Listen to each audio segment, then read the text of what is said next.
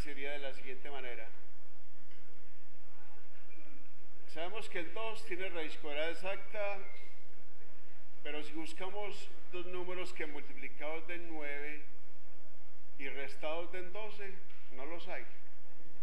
¿Cierto? No los hay. Entonces, para eso está el álgebra, ¿cierto? Viene el rescate nuestro. Entonces, ya sabemos que el 4 tiene raíz cuadrada exacta, pero lo podemos hacer otra raíz cuadrada exacta. ¿Cómo? Multiplicando por el mismo y dividiendo por el mismo. Entonces, cogemos a 4, divido 4 y 4x a la 2 menos 12x más 9 y esto es igual a 0. Paréntesis.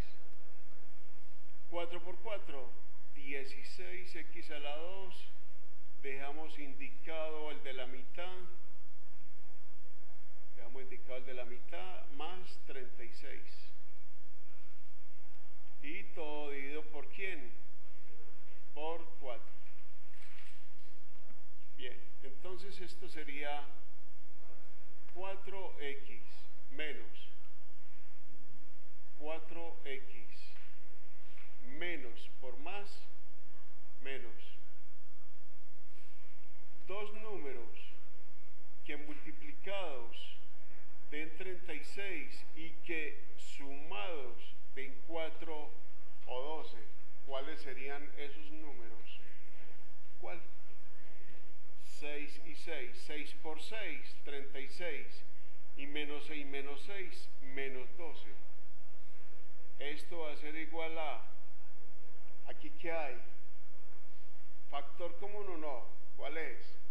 El 2. Queda acá, 2x menos quién? Menos 3. ¿Hay factor común acá?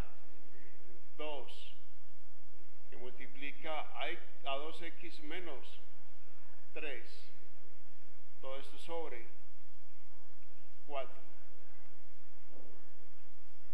Vamos a cancelar.